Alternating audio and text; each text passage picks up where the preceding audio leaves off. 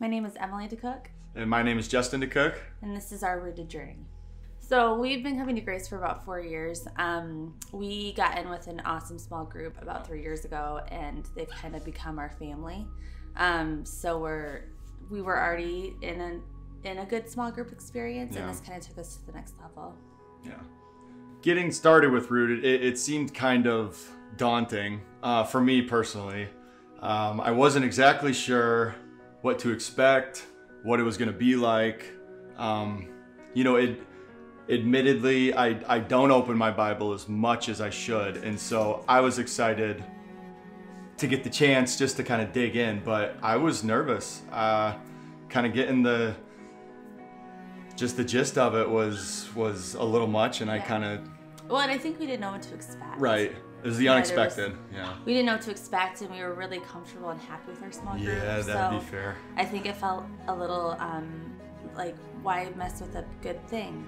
I think that before rooted, the biggest hindrance in my relationship with God has always been um, reverting back to how I experienced God at the beginning of my relationship with God, which was that um, I was sort of raised in the belief that God is spiteful and there's a tick for attack. Like you do X and he's going to give you Y.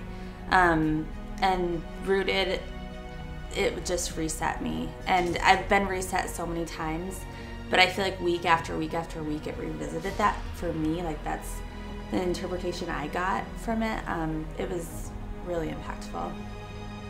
And for me, it was it was digging into the Word. That is one of my bigger struggles, and I just really needed a reason to dig in, and and Rooted absolutely did that for me. It, it got me into the Word.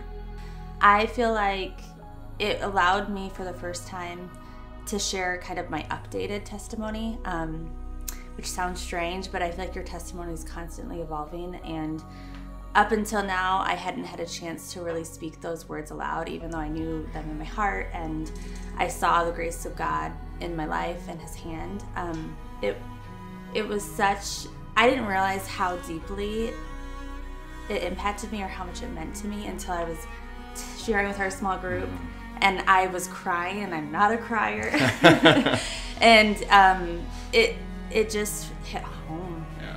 Uh, rooted for me personally, it was it was amazing. Uh, for me, it it encompassed a whole life, a lifestyle of living for Christ instead of just on Sundays going to church and doing the right things, and and that's great. But for me, rooted was it helped just mold what I need to be doing the other six days of the week. Really, um, got me into the Word, and and it, it makes you ask the tough questions to yourself, but then also to your to your group members. It was great.